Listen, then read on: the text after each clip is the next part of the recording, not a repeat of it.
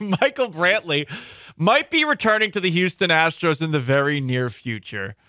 And I heard the bench talking about it this morning about a video that I think John Granato did with uh, Josh Jordan for the Sports Map ESPN uh, 97.5 channel. I, I forget which one it was on, but Jordan, who does the Stone Cold Stros podcast, I believe Charlie's on that along with uh, Brandon Strange, said that it could create some issues in the lineup. And while I'm paraphrasing, it could mean that with Brantley back, we see more Mauricio Dubon. We see less Chas McCormick. We see less Yainer Diaz. It's a weird spot that they're in. No one expected Chas McCormick to go from what he did in the postseason to doing what he's done this year. No one expected it. He was awesome in the playoffs, right?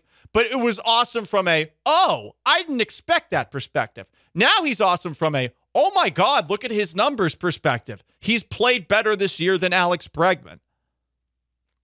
That, that is not arguable. He has been better. But he doesn't play every day. And I know there's been rumors Dusty hates him. Blah. Maybe he does, maybe he doesn't. Whatever the case. I do think that the return of Michael Brantley is going to be weird because if there's one thing that we know about Dusty Baker, it's that he tends to be deferential to veterans. See Martin Maldonado's amount of playing time, which is not really supportable by any statistical metric or anything we're seeing with our eyes. It's literally just, hey, the pitchers like him more, but take a look at the numbers with Diaz behind the plate compared to the numbers with Maldonado behind the plate. Maybe what the pitchers like isn't what's best for him. Just a thought.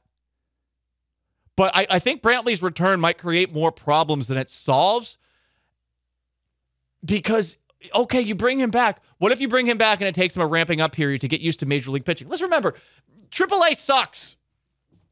We get it. Some guys have great numbers in AAA, but there's no quadruple A. The separation between AAA and Major League Baseball is pretty vast.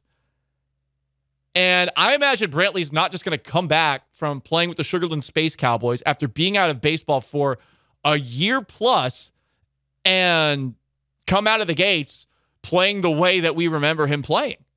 Like it's going to take him some time. So imagine he's getting playing time at the expense of Chas McCormick or Yainer Diaz in some way, shape, or form, and it takes him a while to get going. And we're talking about this in August, in September, with the Astros in a race with the Rangers, and the Astros in a race trying to keep the Mariners from biting their ass.